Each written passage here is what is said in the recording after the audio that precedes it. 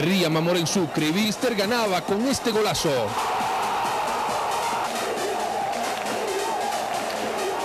Era fiesta roja en el Capriles, con ese resultado obligaban a un partido extra, pero de pronto los celestes empezaron a festejar. Seguidores de Aurora festejaban el gol de Mamoré, el gol del empate en Sucre.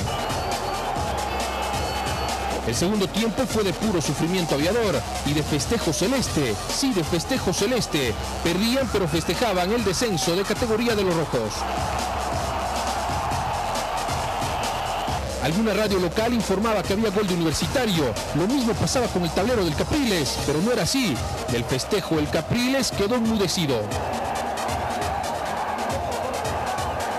Sonó el silbato del árbitro señalando el final del partido y el Capriles quedó en silencio, con hinchas incrédulos de lo que vivían. Wisterman había perdido la categoría. Los jugadores se retiraban rápidamente al camarín. Sí, creo que estamos todos hoy en la cancha, se ganó el clásico, hicimos lo nuestro, lamentablemente no nos pudieron ayudar.